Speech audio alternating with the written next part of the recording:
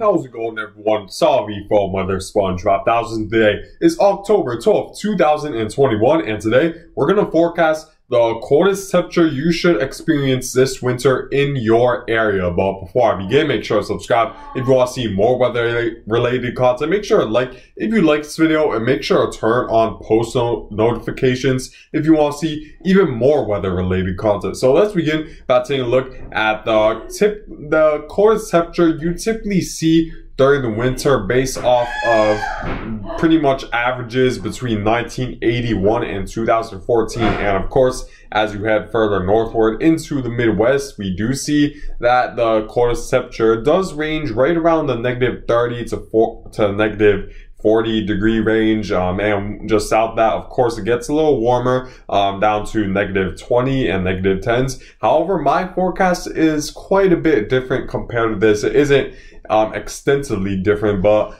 I'm forecast, but my forecast is certainly different based off the patterns we're gonna experience this winter, which I'll elaborate more on in this video. So the first thing we need to take a look at is of course the ENSO outlook, which gives us a good representation of what's to come for this winter. And you see that over the next several months, which includes the months of November, December, and January, the most likely scenario is that we will be in a La Nina. So the probability is up for that pattern to occur during around that time frame during the winter time frame and what this means is that we're more likely to see jet stream dips as a result of a La Nina. However, you see later during the winter, it does sort of become the chance of a neutral in a La Nina phase does sort of even out closer to February and into March, where in fact in March there's more likely of a shot of a neutral phase. However, majority of the winter we're more likely to experience a La Nina. So for this forecast, I'm pretty much gonna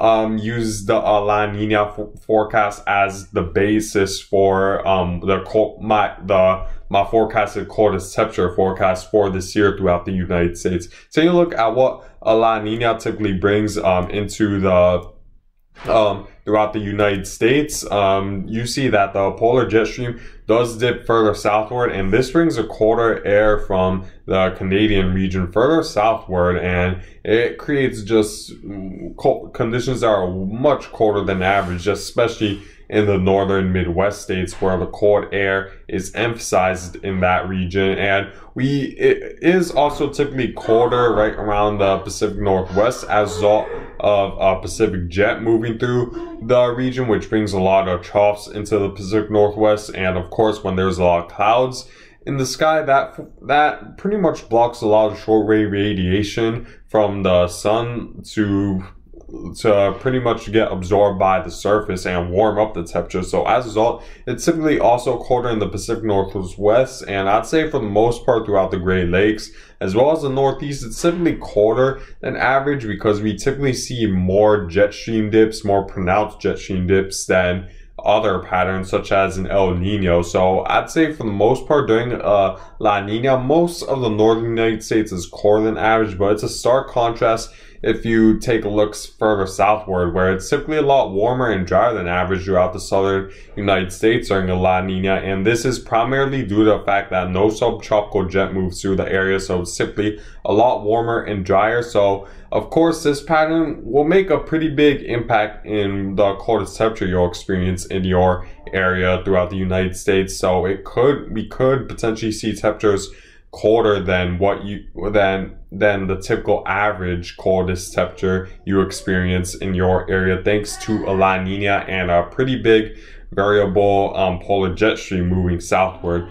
Taking a look at the average temperatures during a La Nina compared to the long-term average, you see that it's typically, of course, a lot colder in the northern United States with the emphasis being more in the northern Midwest as well as the Pacific Northwest where it's much colder than average typically. And of course, this could make a big difference in terms of the coldest temperature you experience for that winter as more likely than not, you're, you're to experience colder than, uh, uh, coldest temperature that's much colder than the typical average you see during the winter. So you might need to prepare for negative 50 degree readings in some areas in the Midwest as I certainly wouldn't rule out a temperature that cold in the area. And um, further southward as well, you're more likely to see colder than average temperatures. The only areas where you might miss out on the temperatures being colder than average is pretty much the southern United States. And while the southwestern portion of California is typically colder than average during the La Nina,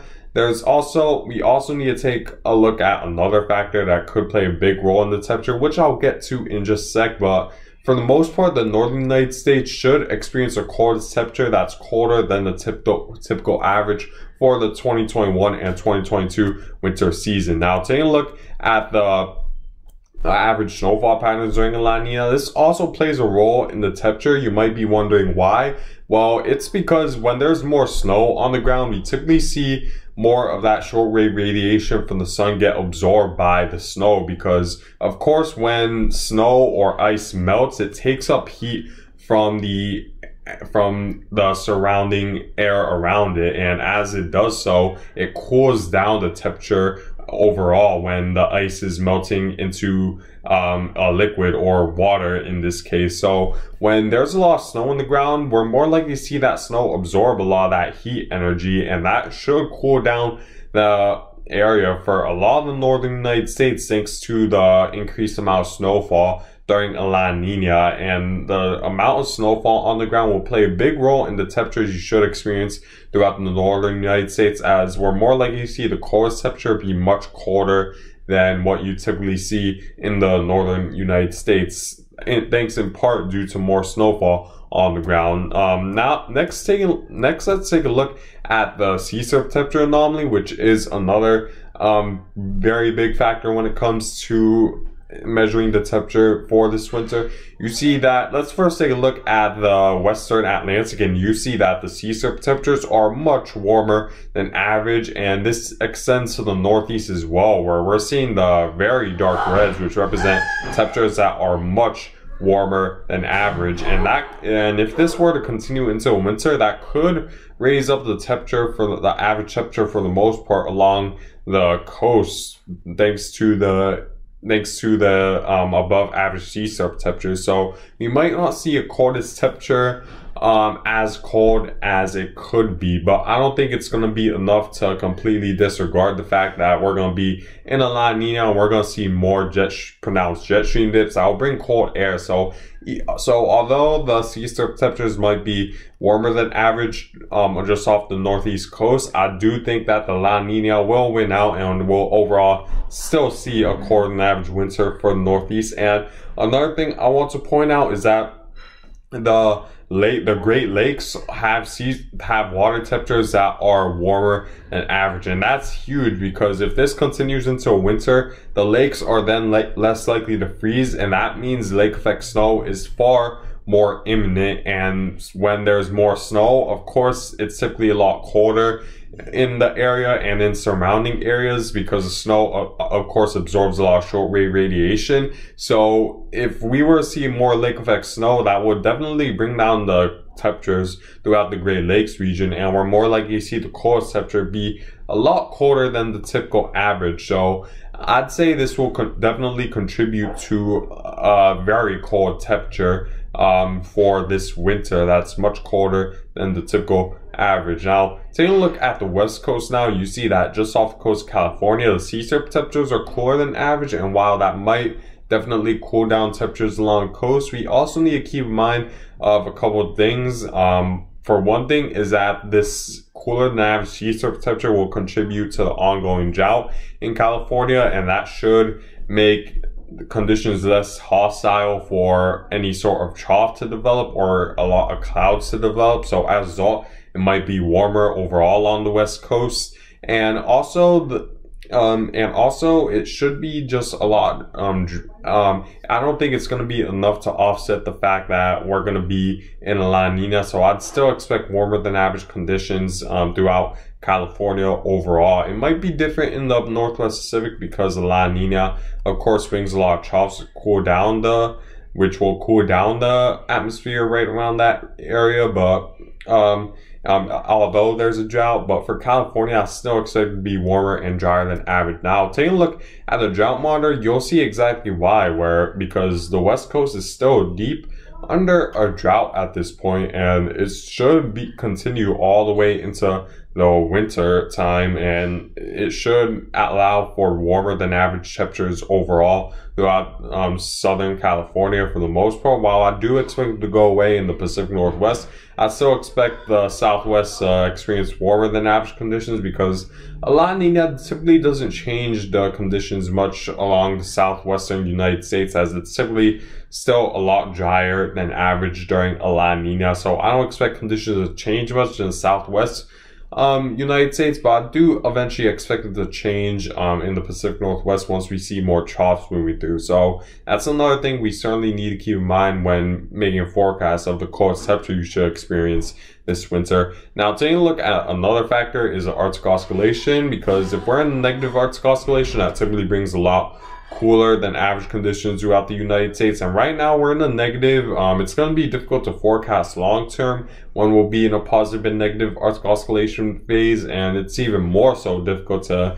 predict how bad the negative Arctic oscillation will be or um, how much of a how negative it will be overall. But um, I do expect it to rebound back to a positive phase for the early winter time, but during the heart winter, there is that possibility that the negative Arctic oscillation will be um, will be during the heart of winter. So that certainly should make the cold temperature a lot colder than the typical average you see um, during a winter. Um, taking a look at what a negative and positive Arctic oscillation does, you see that during uh, uh, um, during a negative or positive Arctic oscillation, the westerly winds are a lot stronger, but during a negative, the westerly winds are a lot weaker. So we see that cold air dip further southward into the United States as shown in these two maps right here. Now, here's my official forecast regarding the cold temperature you should experience for winter 2021 and 2022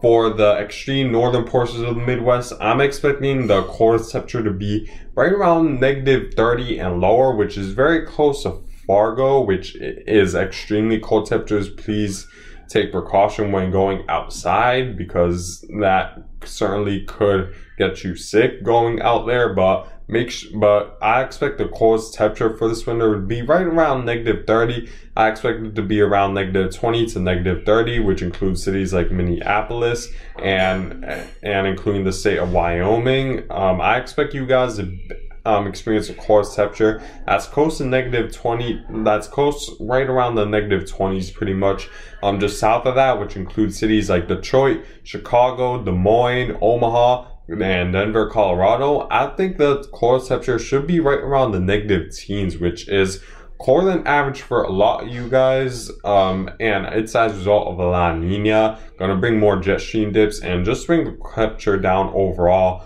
throughout the Midwest. Just south of that, which includes cities of Boston, Albany, New York City, and um, Pittsburgh, and even extending to Indianapolis, Albuquerque, New Mexico, and extending further westward throughout Nevada. I'm expecting the temperature the coldest temperature this winter to be right around 0 to negative 10 degrees, which is colder than average for most of you guys outside of maybe the southern states such as New Mexico. Um, but for the most part, it's gonna, the cold temperature should be colder than what you typically expect. So make sure to prepare for just more cold temperatures more often throughout the northern United States. And just south of that, which includes cities such as Philadelphia, Washington, D.C., Oklahoma City, and even more cities, I'm expecting temperatures to be hovering right around 0 to 10 degrees at its coldest.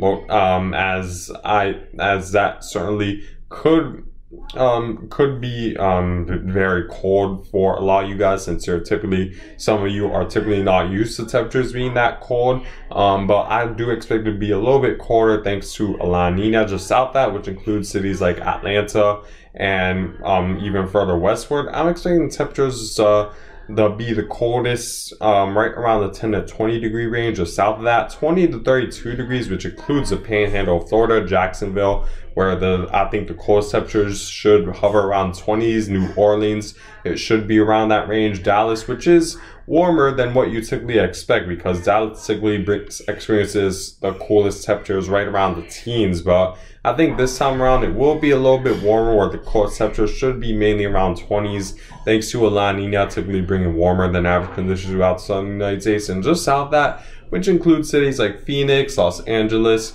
and Corpus Christi, as well as Orlando and West Palm Beach, Florida. I'm expecting temperatures to be right, the coldest temperatures to be right around 32 to 50 degrees for the most part. Typically, it doesn't get very cold anyways in those areas. But yeah, guys, this is my winter 2022 coldest temperature forecast. If you want even more in depth um, um, answer regarding the coldest temperature you should experience for this winter, make sure to comment down below your location. I'll make and I'll make sure to answer that in um, the comment section below. But I thank you guys for watching. Uh, make sure to subscribe if you want to see more weather related content. Make sure to like if you like this video. Make sure to turn on post post notifications if you want to see even more weather related content. I hope you guys have a good day.